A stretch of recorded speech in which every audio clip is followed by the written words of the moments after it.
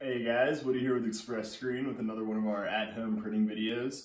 Uh, today we're going to just be showing you how to print on different parts of the shirt with the MiScreen. We're going to print on a sleeve on the back of a shirt.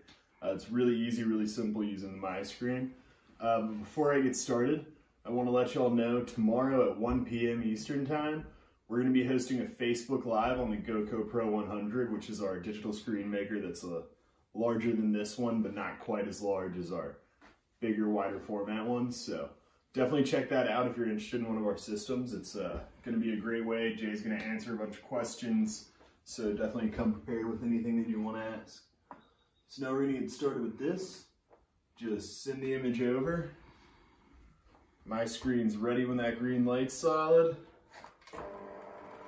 Just holding down the top, and as I say every time, it's the thermal print head in the top is burning away that sil that uh, heat sensitive coating on our mesh. Our mesh has a spe special heat sensitive coating, and so that's what's happening here. That thermal print head's just burning it away, and uh, makes it 30 seconds, and you're uh, ready to start printing. A lot easier than uh, using the chemicals, emulsion, darkroom, uh, washout, and all that kind of stuff. And so it's a quick and easy way to screen print. Got our image ready to go. Need to get our ink ready. There we go. And so this is a water-based ink we're using here. Uh, you can use, we usually recommend Plastisol. Water-based works fine as well. Uh, so do most other inks. This thing can really print with whatever you need it to.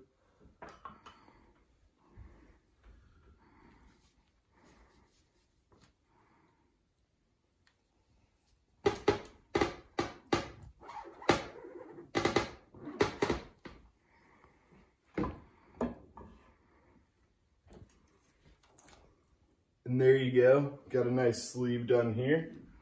Now I'm gonna set this to the side real quick. We're gonna move to the back of the shirt.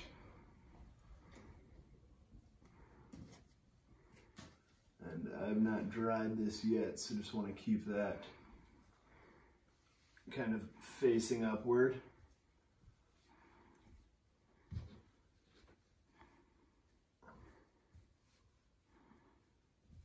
Uh, this is the front of the shirt. It's not what I was looking for.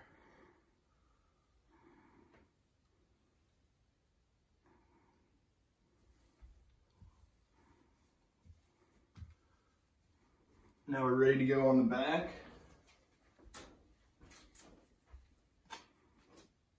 Same thing.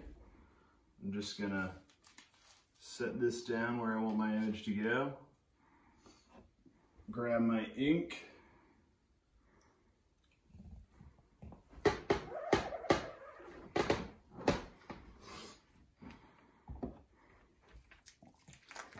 And there you go, two quick and easy prints with the MiScreen.